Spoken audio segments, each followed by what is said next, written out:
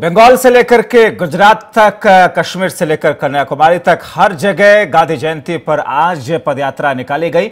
उधर जयपुर में महात्मा गांधी की जयंती के मौके पर कांग्रेस ने पदयात्रा निकाली।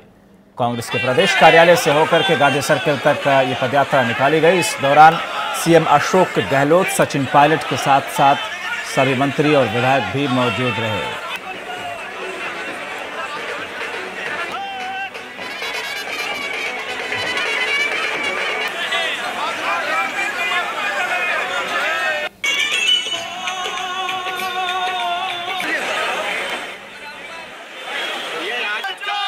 देश में गांधी की नीतियों पर चलने वाला ये देश गांधी की नीतियों पर चलता रहेगा।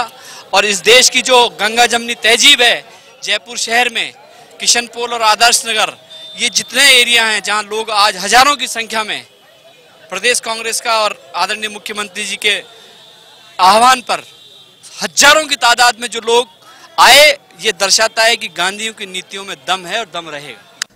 कांग्रेस और बीजेपी गांधी जयंती के ज़रिए आम जनता में पेंट बनाने की जुगत में है।